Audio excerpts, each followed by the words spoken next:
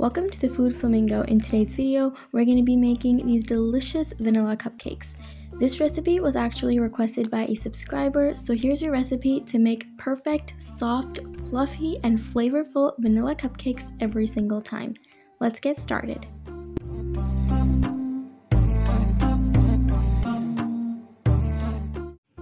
The first thing we're going to do is combine the dry ingredients.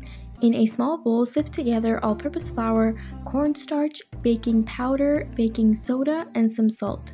Corn flour gives the cupcakes a soft and crumbly texture. We're gonna sift this in and then give it a mix and set it aside.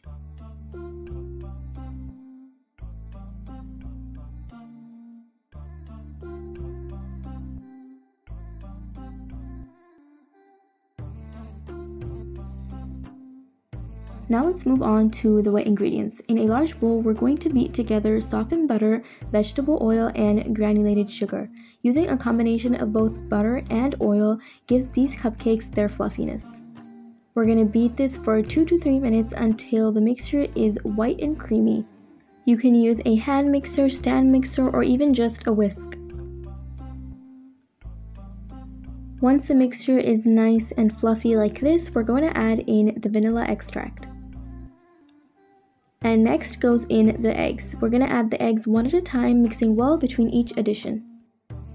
You want to make sure your eggs are at room temperature as well for the best results. The written recipe is available in the description box below with tips and tricks to get perfect cupcakes every single time.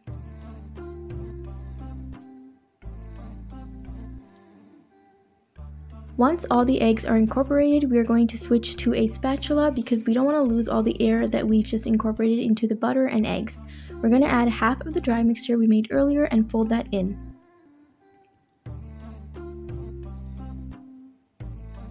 Once that's fully combined, we're going to add in half of the buttermilk. The acidity in buttermilk helps activate the baking soda, which causes the cupcakes to rise and be nice and aerated. Now we're going to add the remaining dry mixture and fold that in as well.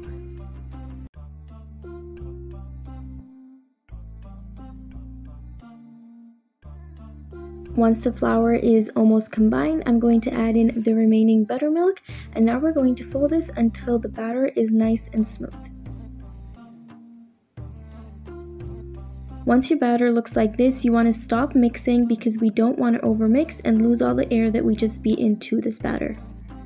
A quick tip when you're aligning your cupcake tin is to add some rice underneath the cupcake liners. This prevents them from getting greasy. Now we're going to fill them up about 3 fourths of the way full. We're going to bake these in an oven preheated at 180 degrees Celsius for 20 minutes. And that's it. Your cupcakes are ready to be enjoyed. These cupcakes are soft, fluffy, moist, and just amazing. When you bite into this, it literally feels like you're biting into a cloud. And the secret to get super flavorful vanilla cupcakes is to use lots of vanilla extract. Once your cupcakes are fully cooled, you can go ahead and frost them with any frosting you like. This is my 2 minute chocolate frosting. I will leave a link in the description box below. If you haven't already, remember to subscribe for more easy and delicious recipes just like this one, and like the video if you liked it or found it helpful, and leave a comment down below if you tried the recipe or if there's anything else you'd like me to make. Thanks for watching!